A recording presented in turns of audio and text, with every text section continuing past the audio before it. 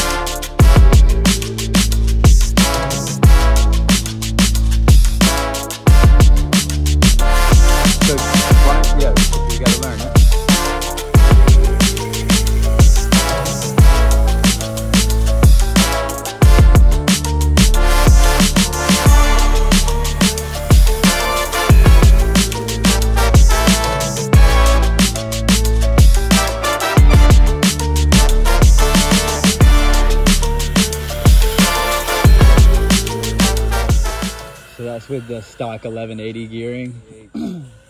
LifePro 4 HR power battery.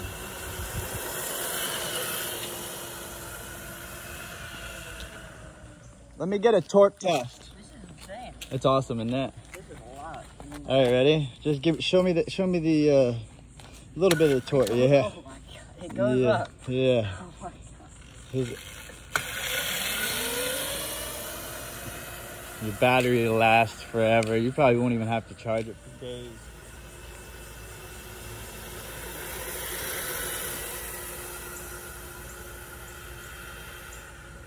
Sounds awesome too, man. I think that's good. What do you think? One more torque test. Oh, it's great. One more torque test. Okay. One more. Make sure you have your finger on your brake at all times. Should I hop on?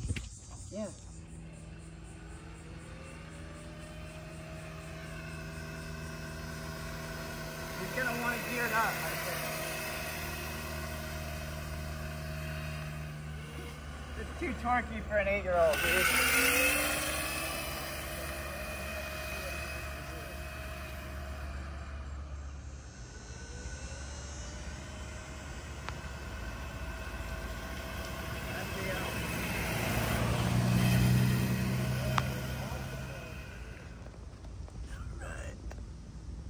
dude.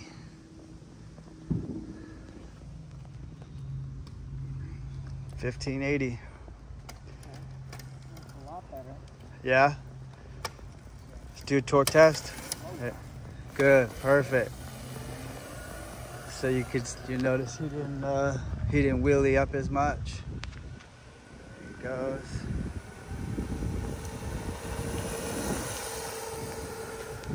Oh yeah, nice. Yeah, nice. Yeah. So he got rid of that. Woo! Yeah. All right, show me torque again. Ooh. Yeah, but that's if it really. Yeah, so just just show me. So it's still got the little bit of torque too. Uh, either way, I mean it's torquey.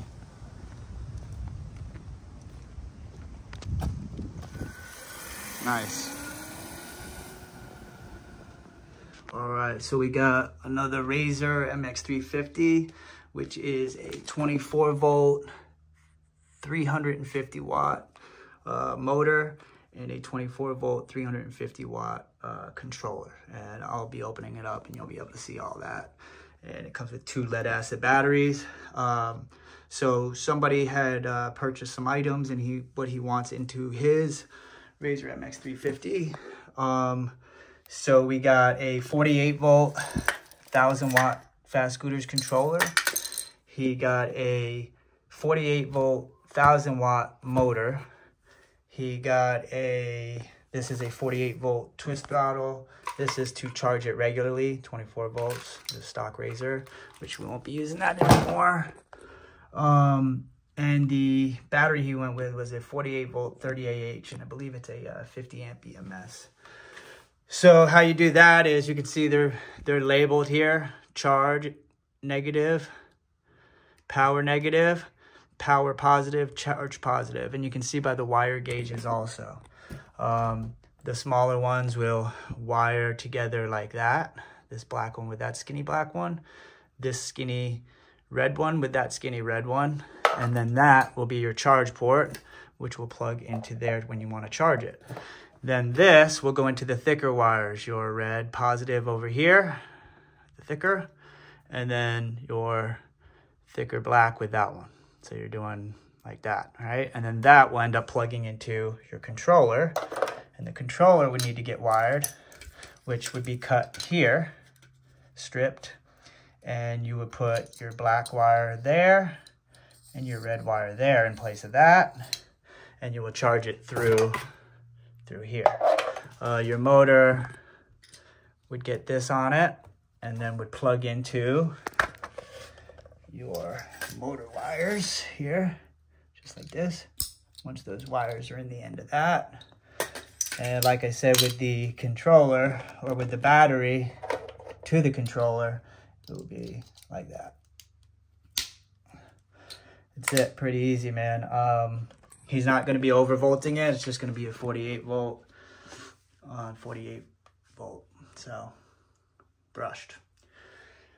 So we get it taken apart. I am going to be put, since this motor is not going to fit, uh, what most of you have seen, if you've seen one of my older videos with this, I was putting it at an angle and I wasn't even screwing in these two screws, but since I'm doing it for somebody else, I had I have switched to uh, using half inch spacers to lift it up just enough to just clear this. And I use all four, of course. And it's just, it's just much better than putting it at a tilt.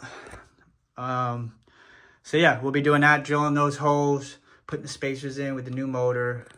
We'll get the controller wired up, we'll get the battery wired up, throttle put on, and we'll be good to go. All right, so nine number fours. Took the two side fenders off. Go ahead and disconnect that. that. We're actually gonna disconnect everything, so. Why did you ahead and do that. Dad, why I don't know if this will see it from there. Let's put it on, why you doing that? Hey, Dad,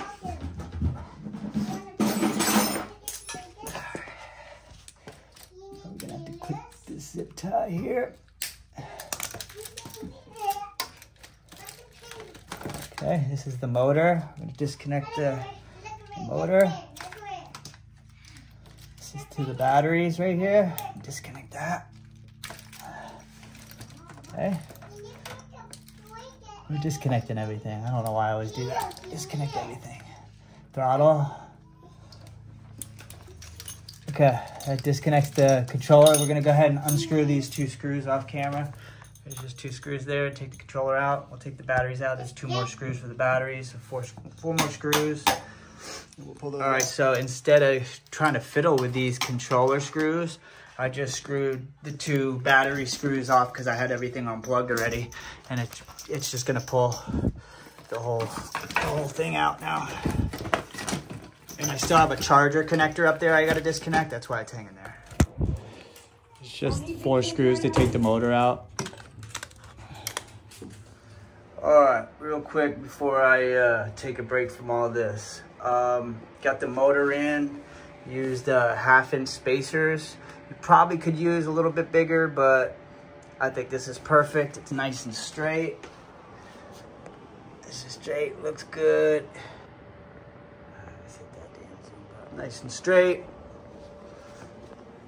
Uh, he went with a 30AH uh, LifePo 4 BTR power battery. Got it as even as I could get it. See all the pegs. Uh, battery's not going anywhere at all. I did my uh, zip tie thing, the monster zip tie thing, one this way, two that way, and then have them squeezing, the little one squeezing it. Controllers in there all wired up. Boom. He's got a 48 volt 1000 watt controller with a 48 volt 30 AH BTR power LifePo 4 bat battery. Uh, I believe it's a 50 amp BMS. And I just had to drill some holes. I use red Loctite, so this thing is not going anywhere. Um, I did do a uh, the charger plug like this. Figured why not. Uh, that way it could just uh, plug in and out like that. Um, got the key ignition. He did not get the digital. He got the uh, the regular. Uh, this will this this is uh, irrelevant now, but it's solid, man. I think he's gonna love it. Uh, what we had happen was my daughter. Um, I had the uh, the plug like this, the charge plug, kind of screwed in like that, and uh, my daughter went up with a 12 millimeter wrench and learned about not sticking metal into outlets this was her first lesson. She's only two years old. It literally welded the positive plug pin to the uh, wrench itself. But uh, so I was a little concerned because um, I didn't know if the charger, if I was gonna be able to like just change the connectors, which is safer anyway. Uh, so I just put some XT60s on there, which is what I have on my 72 volts anyway. And um, it'll be solid. Loctite on there. I'm gonna put some air in the tires. I had to tighten up the fork. Um, tighten up the handlebars also. Got the red side. Looking dope. Looking dope. And the black side. So you got a red side and a black side. Yeah, definitely needs like some stickers or at least a sticker here. If it were an Electro & Co kit, we'd be putting Electro & Co there. So this is a Fast Scooters kit. Maybe uh, maybe Tom at Fast Scooters will hook y'all up with a uh, with a Fast Scooter sticker. One of those. You pop on there. All right. Fat Boy Slim out.